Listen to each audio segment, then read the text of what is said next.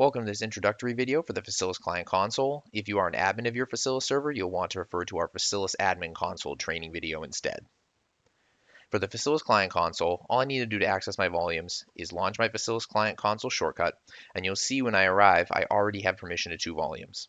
This is due to a permission structure that allows admins to assign volumes directly to an operating system login, whether that's Windows, Mac, or Linux. If I want to retrieve additional volume permissions, I can also log into users that my admin has created and assign permissions to.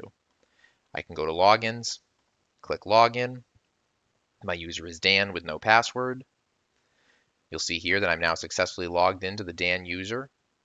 And when I go back to my Volumes tab, you'll see I now have additional volume permissions.